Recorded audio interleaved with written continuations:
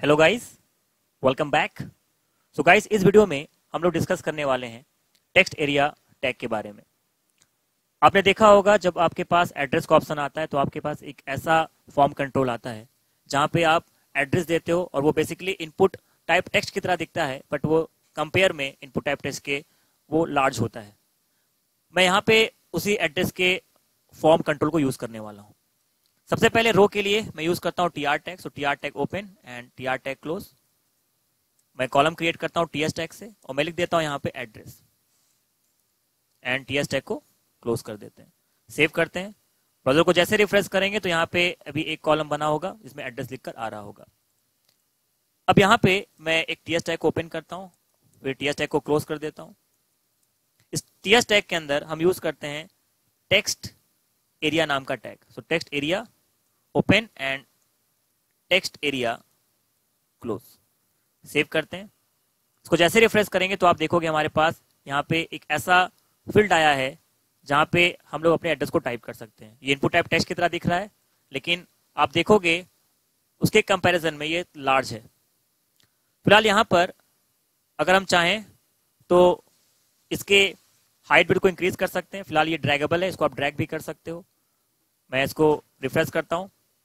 अब मैं यहाँ पे इसके हाइट विट को इंक्रीज कर सकता हूँ।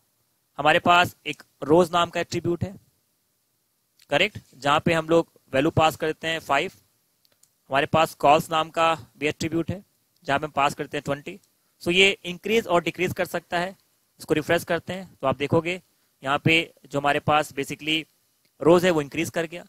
अगर हम चाहें तो इसकी वैल्यू बढ़ा देते हैं। मैं लिखता हूँ यहाँ पे थर्टी सेव करते हैं कॉल्स में।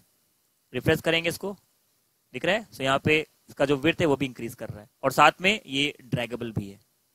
सो so गाइस अब यहाँ पर हम एक नेम नाम के एट्रीब्यूट को यूज़ करते हैं। जब हम इसमें कुछ इंसर्ट करके सबमिट करेंगे तो इस नेम में जाके ट्रांसफ़र होगा। इस नेम में मैं लिख देता हूँ एडीडीआर राइट मीन्स हम इसमें अगर एड्रेस लिखेंगे तो वो बेसिकली एडीडीआर में असाइन होगा। सेव करते हैं रिफ्रेश करते हैं। मैं टाइप करता हूँ एड्रेस फॉर एग्ज़ाम्पल लखनऊ